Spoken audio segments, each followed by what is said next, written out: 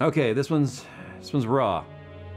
And and we're talking like Chatsworth raw, if you know what I'm saying. I just tweeted out that I blew up a processor. And we're gonna talk about that. A few things happened here, but it was kind of like I was in the middle of doing a different video and now I'm making this video, obviously. I asked you guys if you wanted me to do this video about how it blew up and maybe you guys can learn something. And uh, yeah, we're doing this. This is this has to be done. I air all my mistakes. This, as you might recognize, is the budget gaming system I built out of my own money to kind of do a series here where I upgrade this over time and see what kind of decisions I make when I'm putting my own money on the line. It was some pretty interesting choices here. And it ended up in a form, not its final form, it's still not in its final form, but with an 8320 uh, from AMD and an GA990FXA UD3 motherboard allowing for overclocking and such. Ever since I did the Kaby Lake shootout video a few days back, I could not stop this nagging feeling that there was better gaming performance to be had, even from like five year old processor technology here, almost six years old at this point when the 8300 series launched, than there was on any hyper-threading, K-SKU overclocking i3 available on the market today. I thought, you know what? We, this needs to be done. I need to test this. I took the SSD and the 1080 out of the Kaby Lake rig behind me there and I put them in this rig here and decided to put it through the exact same test I did with the i3, i5, and i7 to see how it really compared.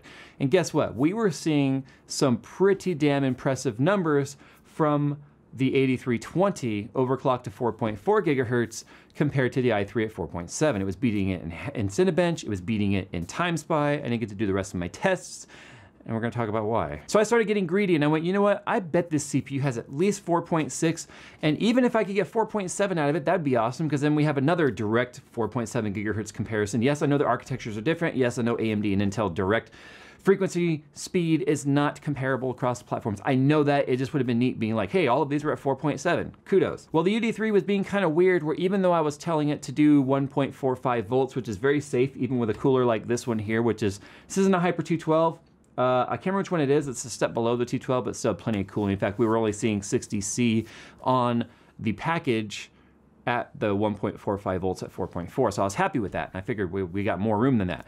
So I put in 1.5 volts and that's safe. It, believe it or not, it's still safe for AMD. It's, it's on the edge of air cooling. You know, you really got to keep an eye on things. I noticed that when I was doing Cinebench that the voltage was dropping down to 1.3125-ish, like 1.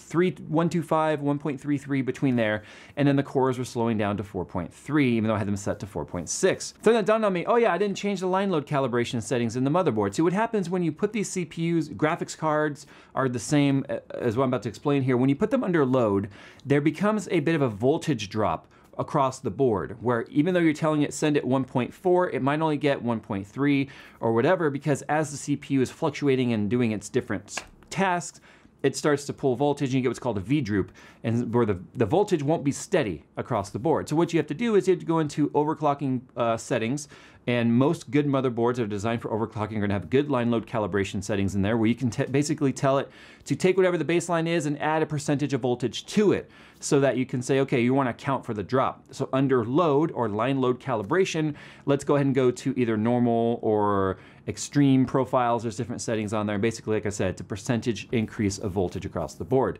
to allow for that droop. So I put the multiplier to a 4.6 gigahertz setting, went into Windows, no problems whatsoever, went into TimeSpy, beat the i3, no problems whatsoever, beat it on CPU score, beat it on GPU score, and it beat it just on, on combined everything was just like, I was like, this is awesome. I'm gonna be able to show people there's no point in buying the 7350K. So then I went into Cinebench and I had hardware monitor going so I could keep track of things like the voltages, the temperatures, uh, all of that stuff. I'm monitoring everything. And I've noticed something interesting, that it's going 1.5, 1.55, 1.59, 1.6 volts on air. And I'm going, wow, that's interesting. It's, it's going up quite a bit on voltage, but it passed the test and I saw that max temperatures were only sitting at about 67 C on the package, and I thought, wow, that's actually not that bad. But you know what? That's not safe. That's not safe at all. So I should probably shut down the system, go back into BIOS, and then see, you know, pull the voltage back down a little bit to account for the line load calibration is going to add a little bit more. So I tell the system to restart. And this motherboard has something interesting in it where when you tell it to restart, it will power down completely and then turn back on. Whereas a lot of motherboards will stay powered on as a, as a constant voltage supply and then just restart itself. Well, this one, because like I said, it turns off, when I hit restart, the system turned off. And then it powers back on and immediately powers right back off and doesn't come back. And I'm seeing the telltale sign here of, uh-oh, because every time I push power, I would get just an immediate flick of power. The fans would all kind of budge for a second and then stop. That's usually a sign of something is wrong with CPU power delivery. Yeah, I was like, uh-oh, that's not good. So I cleared CMOS, no, no repair whatsoever. Took out the graphics card, took out the memory, took out everything uh, except for the CPU on there, same result. Unplug the power delivery to the CPU, the 8-pin EPS power, the system turns on. Now it's very, it's very unlikely that the motherboard is bad on this. I have, in fact, I have another CPU that I'll find some time later to drop in here. It's like an old 6300.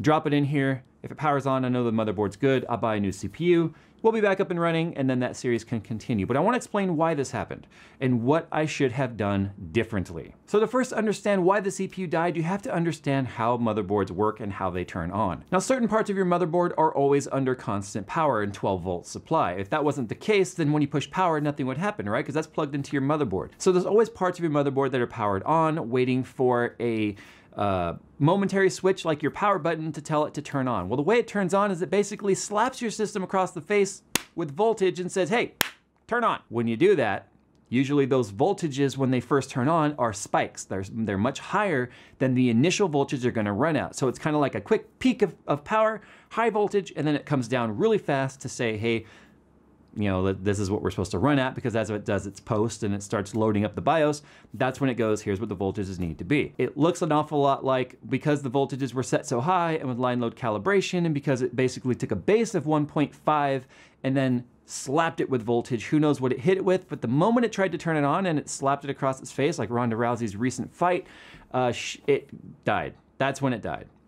Here's what I should have done differently. When I realized the voltages were so high, especially after I already knew that this freaking motherboard turns itself off to restart, I should have just powered it down, cleared the CMOS, and then I wouldn't have had this issue. Had I done that, the system would be alive today. I'd be able to do all the benchmarks and show you guys more definitive proof that it is absolutely unnecessary to buy the 7350K. Yes, I know AM3 has no upgrade path. Yes, I know blah, blah, blah, blah, blah. Insert all the AMD hate here, but it still was beating the i3 7350K hands down, and it's a hell of a lot cheaper to be able to achieve that because with the 7350K, you have to buy an expensive Z270 board to be able to take advantage of all of those overclocking features. So when you put those two together, you're spending at least $300 upwards of 350 400 depending on what you want. And yes there is an upgrade path. You can upgrade the cpu later but there's no point in spending $189 on a cpu just to upgrade it later. Just save more upfront and buy a better cpu to start. The 7350k shouldn't exist as far as i'm concerned at the price that it does.